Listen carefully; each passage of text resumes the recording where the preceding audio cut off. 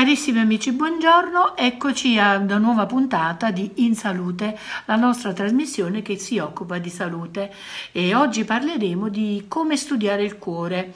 Voi sapete che il cuore può essere studiato con un elettrocardiogramma, che è la registrazione degli impulsi elettrici che partono dal cuore e si trasformano su carta in uno speciale apparecchio, si trasformano quindi in onde che ci descrivono se il nostro cuore sta funzionando bene oppure no. Poi abbiamo un'altra possibilità di vedere il cuore diciamo al suo interno attraverso l'ecocardiografia. L'ecocardiografia come si fa?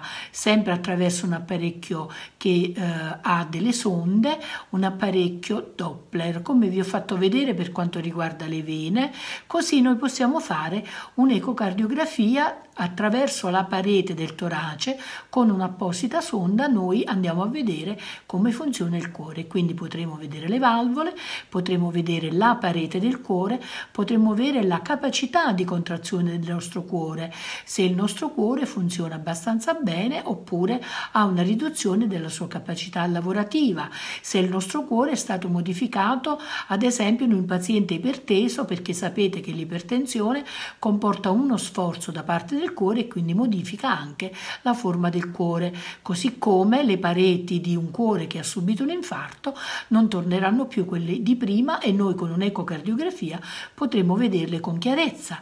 Tutte le malattie delle valvole sono studiabili attraverso un'ecocardiografia transtoracica oppure transesofagea, quindi andremo a vedere innanzitutto se il nostro cuore è posizionato al posto giusto e si dice situs solitus nel nostro linguaggio scientifico, poi andremo a vedere se le quattro camere sono normali, se le valvole sono normali.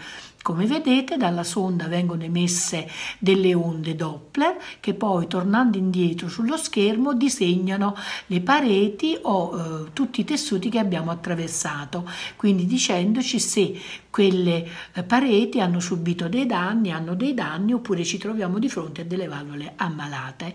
Seguirà eh, un piccolo video in cui vi farò vedere in diretta come questo viene fatto.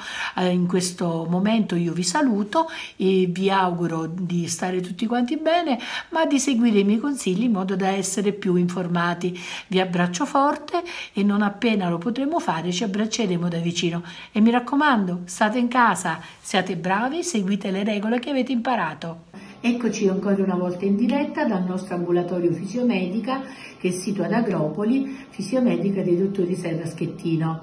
Io sono la dottoressa Serra, quest'oggi vedremo insieme un'ecocardiografia. Ecco che ho posizionato la mia sonda del mio ecografo eh, su una paziente e in questo momento stiamo osservando una immagine della mitrale, ve la indico col dito, e della orta, ve la indico col dito. Come vedete la mitrale ha due lembi, uno posteriore e uno anteriore, e la nostra eh, aorta è un'aorta tricuspide, quindi normalmente è fatta da tre lembi. E quindi eccoci qua, invece siamo su una quattro camere, se vediamo il colore, ecco qui, come vedete il sangue scende dai ventricoli agli atri, dagli atri ai ventricoli e il cuore si contrae, in questo caso normalmente. Andiamo a mettere una sonda ed eccoci, abbiamo la velocità del sangue, cioè come il sangue attraversa la valvola, in questo caso mitrale. Se sposto invece sulla valvola ortica, vediamo che abbiamo il flusso invece di come il cuore spinge in sistole il sangue al, dalla orta a tutto quanto il nostro organismo. Come vedete le due camere in basso, ve le segnalo, sono gli atri, invece i due spazi in alto sono i ventricoli. Allora possiamo dire che questo cuore è ben funzionante, le valvole sono perfettamente funzionanti, la funzione del cuore è perfetta. Questo è quello che noi possiamo chiedere ad un esame Ecocolor Doppler. Io vi saluto per, prossima, per il prossimo tutorial per il nostro prossimo video. Grazie per l'attenzione.